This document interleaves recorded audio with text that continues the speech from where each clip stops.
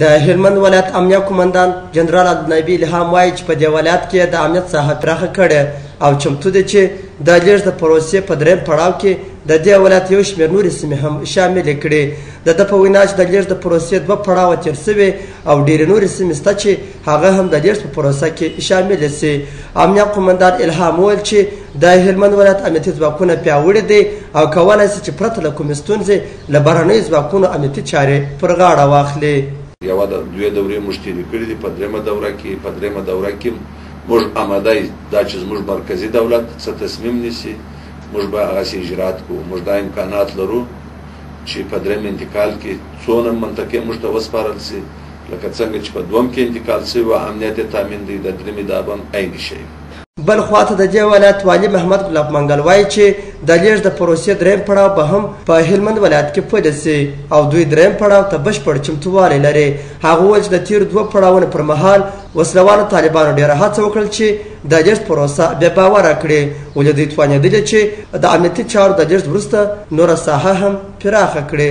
دوی چې د تیر دوه پړاوونو وروسته افغان ځواکونه بریالي شوي ولې وروسته له دې هم د امنیت اخیستو واک لري وسله والو مخالفینو ډیر زیات کوشش وکړ چې د انتقال بهیر بې باوره کړي او کوشش یې دا و چې په لشکرګاه کې یو لړ بریدونه او چاودنې تنظیم کړي ترڅو خلکو ته وښیي چې د افغانستان وسله وال ځواکونه د دې توانمندي نه لري چې په خپلواک ډول سره د امنیت مسولیت واخلي خو له نیکه مرغه زموږ وسله وال ځواکونو په خپل توانمندۍ سره په خپل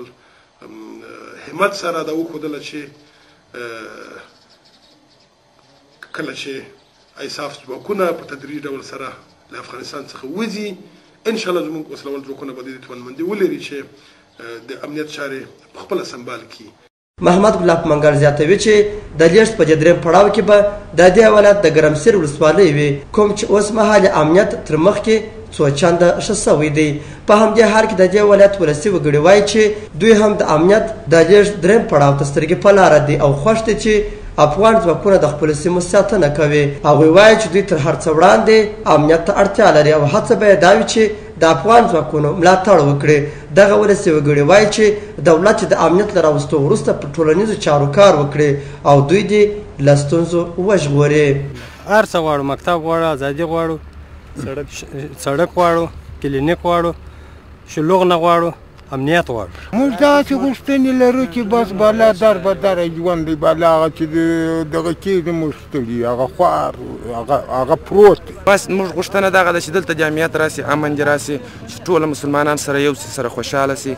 دغه دې نه وي چې یو بل ته شیطانت سره کوي، ګیرې کې ما په تا ګیرې بل په بل. هلمند ولایت یو له هغه ولایتونو څخه دی، کوم چې په سویل لوېدیځ کې د ګاونډي هېواد پاکستان سره ګډه پوله لري او امنیتي مسولین یې وایي چې ډېر وختونه د دې کرښې له پورې خوا څخه ورته وسلهوال طالبان راځي خو د ګاونډي هېواد پاکستان د ګډې پولې څخه د وسلهوال طالبانو د اوښتلو خبره په بیا بیا رد کړې ده ادمنار ارغند خبریال ډاټ کام کندهار